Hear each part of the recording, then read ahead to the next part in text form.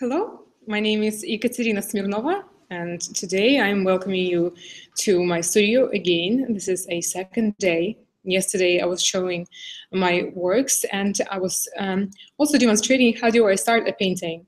And today on the schedule, there are a few things that I need to continue working on my painting I started yesterday and also uh, do some adjustments to previous paintings as well.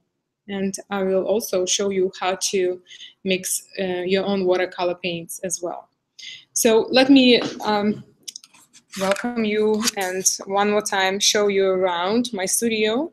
And my studio is located in East Harlem and it's a very old building that this is my floor and I can show you it's quite large. It's really a dream studio and um, I've been here for um, a year and a half, and I really enjoyed working in here. So this painting I started yesterday, and it was just a blank paper, and it's quite large. You can see from the ceiling to the floor.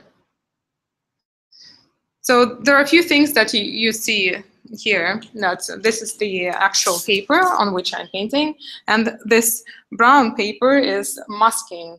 I block out the area that I'm uh, I don't want to mess up. I, I want to keep it clean. So this this is how I connect. This, this is just a regular scraps of paper and I use always an artist tape. Artist tape does not have any acid and that means that it's not gonna distort and damage your painting later on. So, well, um, what I need to do is to splash the area. This is a painting of a comet.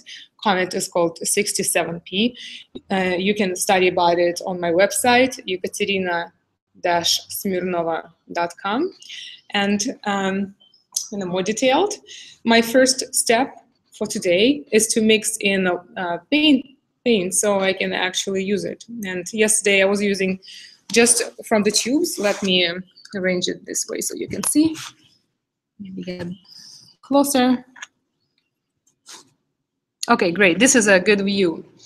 So I very often use uh, Winsor Newton uh, watercolor paints, and you know I prefer getting large tubes because I run out of it with such sizes very quickly.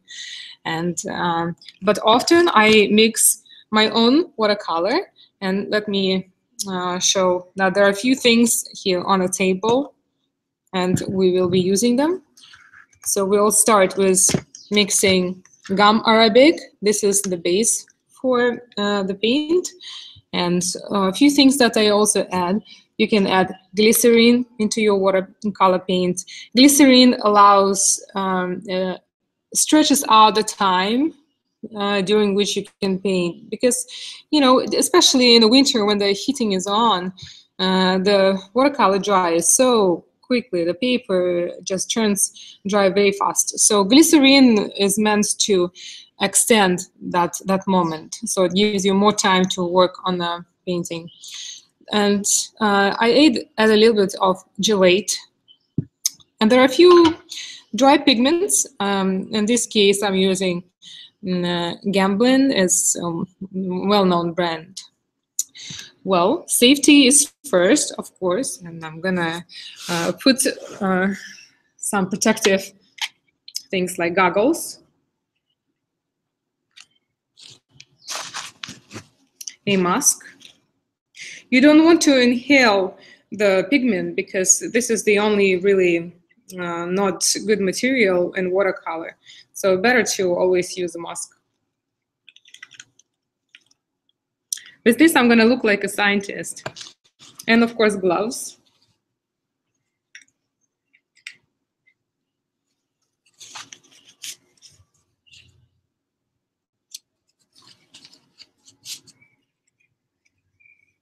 Yeah, the problem with the uh, mask and the glasses is that they get foggy when you're breathing. So anyway, let's go back to our table. Okay, here. So first I would add uh, gum arabic. You know, I don't um, measure exactly uh, my my my materials because I sort of already know how much uh, of what do I need. I'll add just a little bit of glycerin, you know, just like that, a drop. Angulate.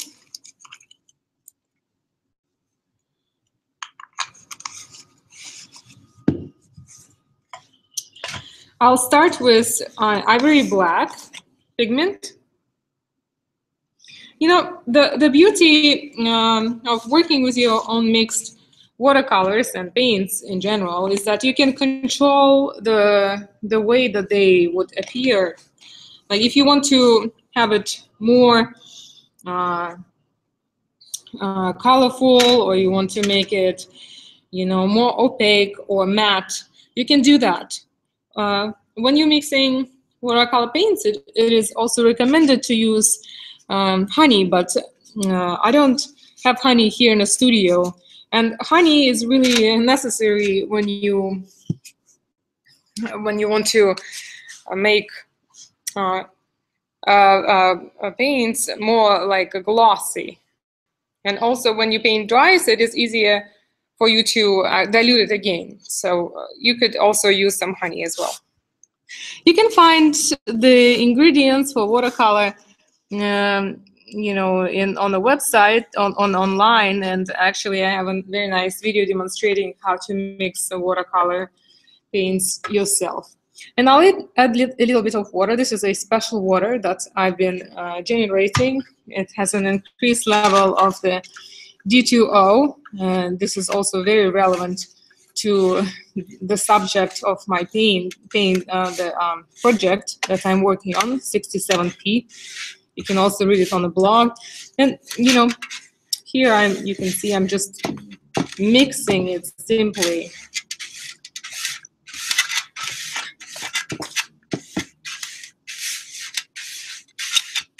I feel like, you know, by the consistency, it is quite, it has a lot of uh, gum arabic, which will also make it glossy. So I need to add more water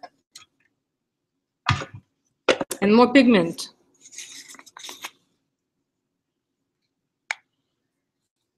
Even more.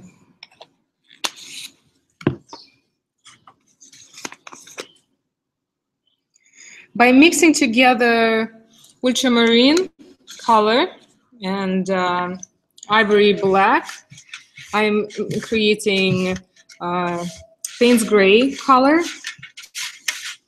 And so Payne's Gray is more like a, a black, um, bluish tone.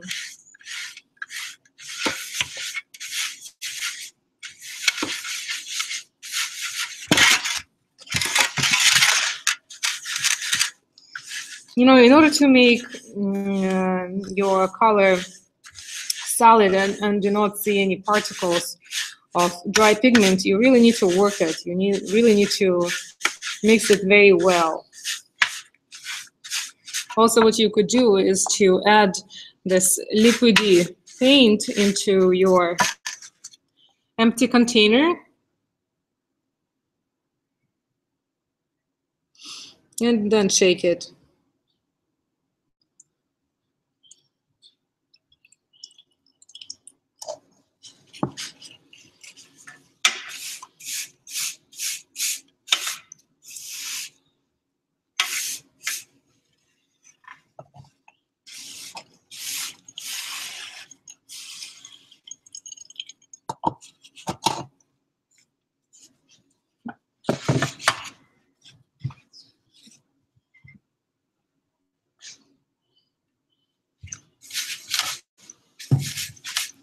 The um, the paint that I need um, actually has to be quite liquid because I'm going to be splashing it on the paper. So uh, this is this is could be a, a good test.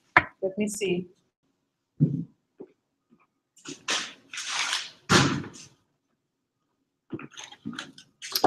So here is some paper. And, okay yeah, you know, I actually you, you don't really see uh, the color tone. Uh, this is a, not a good quality video, but I like the way that it, it appears.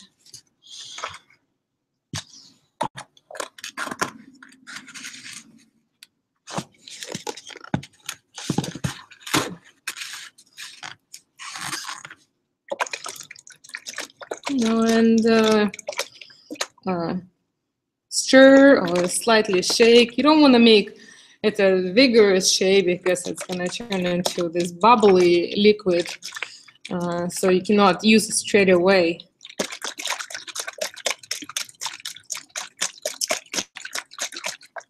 But while this is uh, settling down, I'm gonna use this, maybe add a little more water.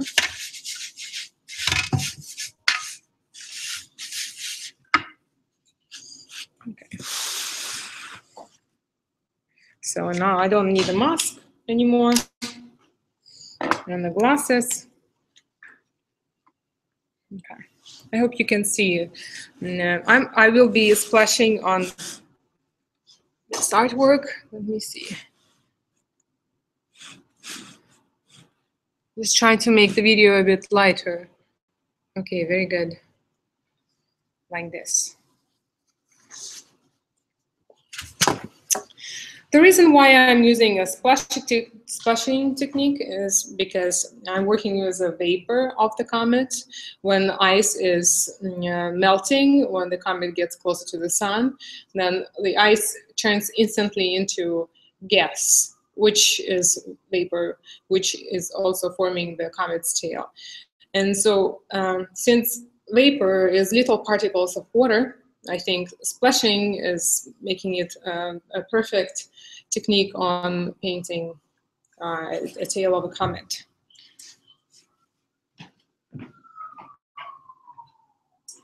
This painting I have splashed already a few times, uh, about maybe eight times, and so this is going to be my ninth time.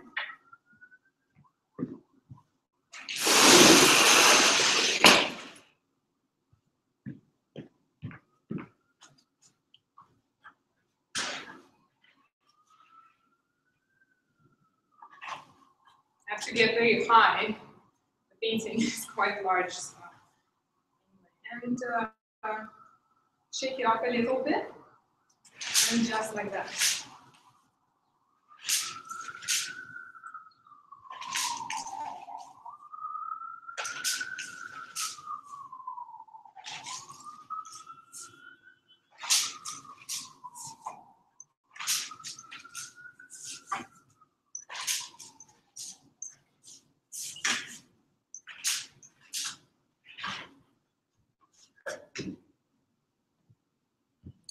I really like the way that the gum arabic smells, the one that I mix mix in. You know, some some watercolors smell very well because at times they use a different kind of oil. For example, a clove oil is a very standard oil to add, and uh, you could also add if you have a clove oil, uh, very commonly used also in mixing oil paintings, oil paints. So again, so I added some of my liquid uh, color that I mixed and adding more water. Mixing in very well.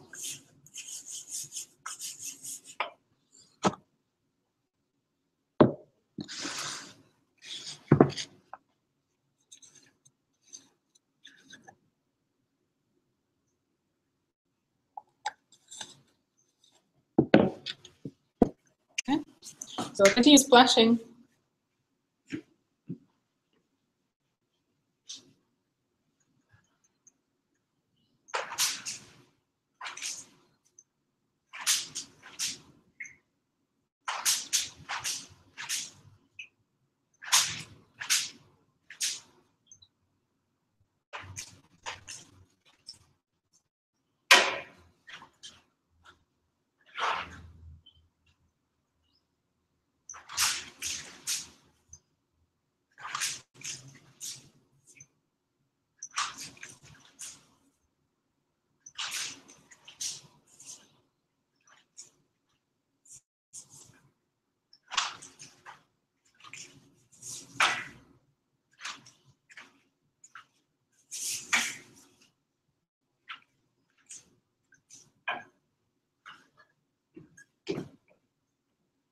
Okay, so this is another layer.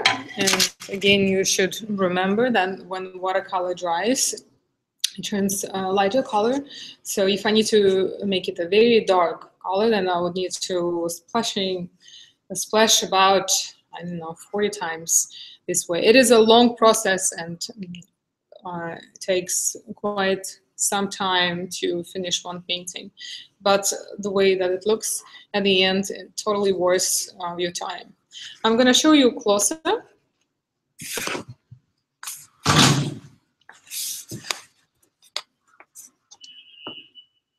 See all of these drips, and you can see uh, uh, some part of, of it is here.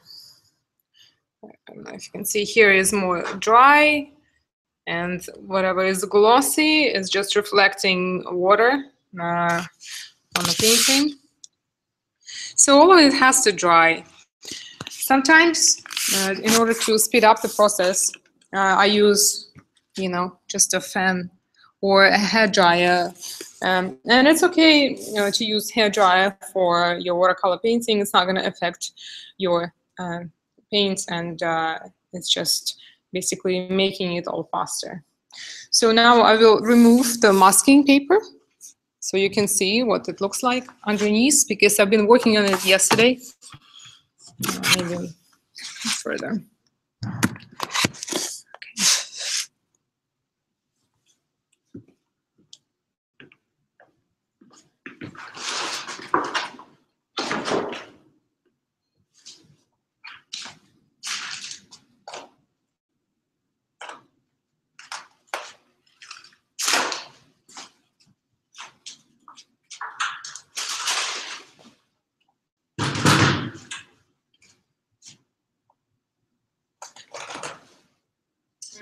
Actually really use my gloves because everything is wet and everything is black.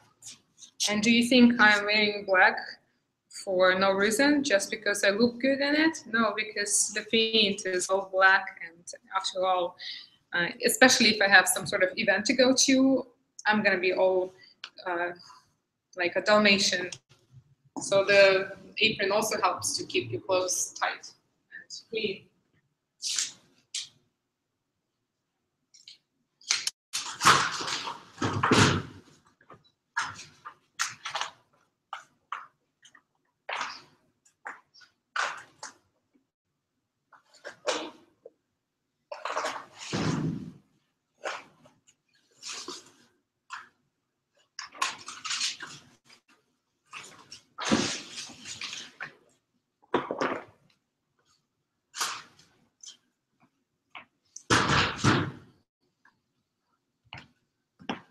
So um, yes, it's already starting to look like something. I'll, I'll explain a little bit. This is a part of the comet. And all of that is a space, and I'm creating a, a vapor from here. So what I'm saying, for example, over here, if this is the part of the, the comet, here, and, and this is a vapor, and this is really too close to be equal. That means that I have to keep this uh, more clean and maybe add more uh, dark over here. Uh, I can show closer so you see what I mean.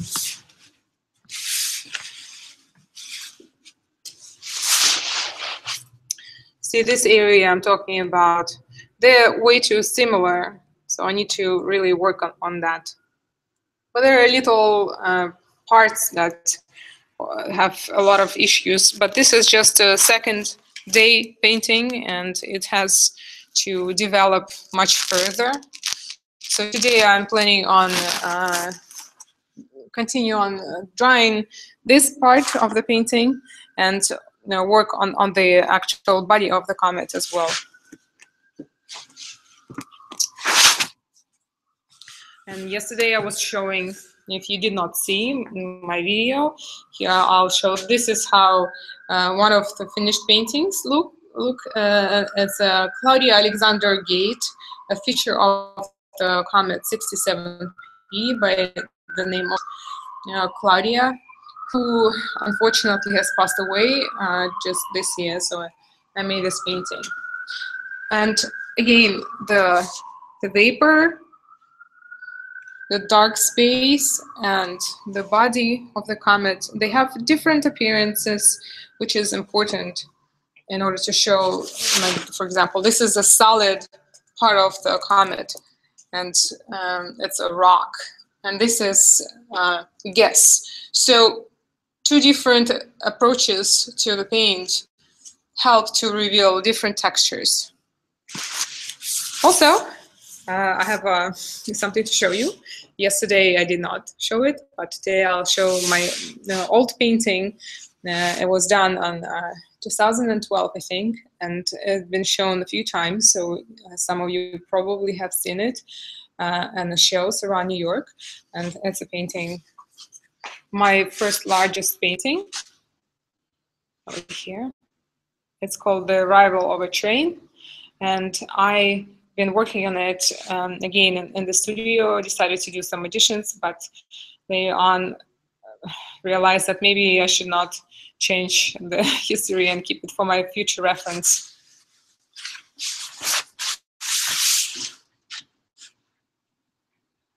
This painting was inspired by an old uh, film, one of the first uh, films shown for the public uh, when the train was arriving to the station, but the public was not prepared.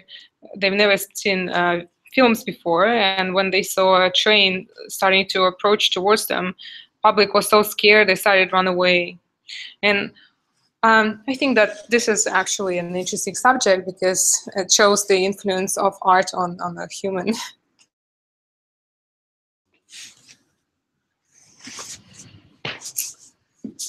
And another task to work on today is this work that yesterday I decided that was finished, but then I changed my mind and I'm gonna do some uh, addition to it and I'll show you.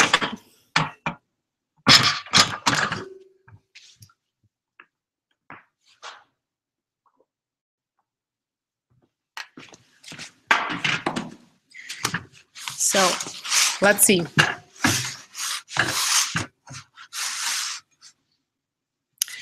This part of the painting is actually a top part, but I wanted to uh, make it to fade away, sort of like if the, the part of the comet has been uh, submerged into the mist.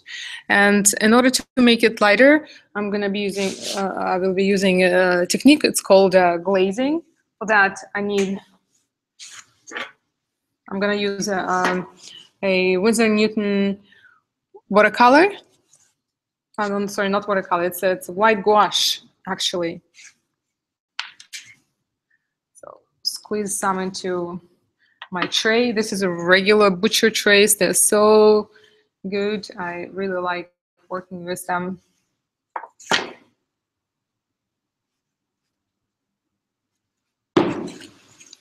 And I need water.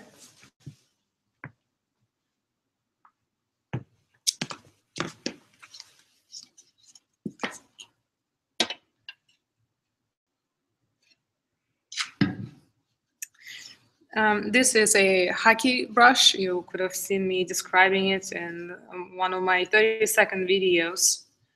It's an Asian style brush. It's made out of uh, very soft goat hair. It's very absorbent and very soft. So I'm mixing water with um, white gouache very lightly. I don't want to have it very opaque. It's uh, when it dries, it's going to appear transparent. Uh, so I'll add a few layers of that on this painting. I have to wait for it to dry every time. So well, right before the video, I actually has place to first coat. That's why you can see the paper buckling. But I'm gonna show the idea. So let's say this area I want to add some white on.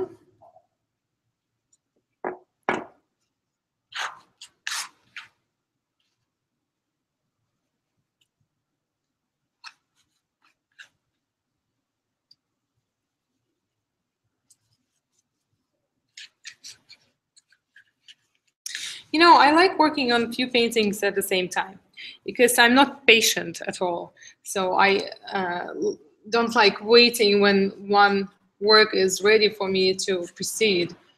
So this painting will take uh, up to uh, half an hour to dry. And um, there are many layers that I want to do. So I just, I do this part and then I move on, work on another painting and then I come back, do another layer and on and on and on.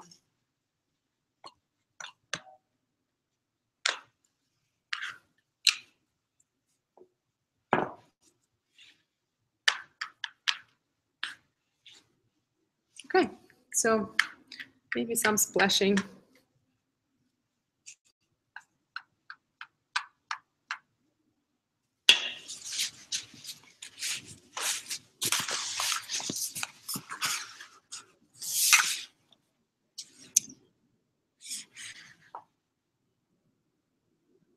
It's gonna take some time to dry. So tomorrow I will uh, show you, uh, this is gonna be my last uh, video.